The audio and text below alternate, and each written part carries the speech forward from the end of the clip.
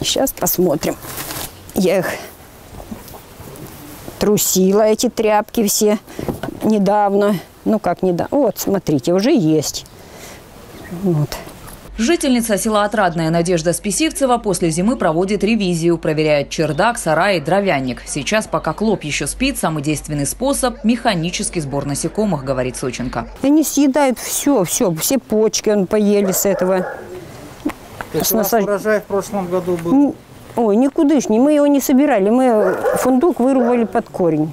Пустили молодняк, потому что насыпалось, а на полу это как взял, кто с мешка высыпал. Село Отрадное в прошлом году значительно пострадало от клопа, рассказывают местные жители. Впрочем, как и многие другие населенные пункты города. В октябре месяце я был на речке, э, ну, было тепло, и вот, и обратил внимание, э, миграция клопа была очень мощная, э, просто сплошняком, полтора метра где-то над, над уровнем земли летела, просто как саранча. Вот показывает, очень много в сторону моря летело, со стороны гор.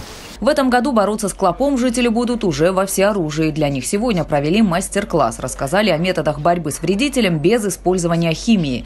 Вот такую ловушку можно сделать из обыкновенной коробки, куда клоп обязательно заберется на зимовку. Такой домик будет эффективен с октября по апрель. В это же время можно использовать и специальные дымовые шашки. Помещение заполняется дымом. Отовсюду, где он забился в щели, он высып- э, выползает и пропадает. Дым не едкий. И потом после него никакого запаха, ничего. Останется только собрать клопа и уничтожить. А когда вредитель проснется и начнется его активный лед, в дело могут пойти и вот такие феромонные приманки. Они заманивают в ловушку клопа благодаря специальному запаху.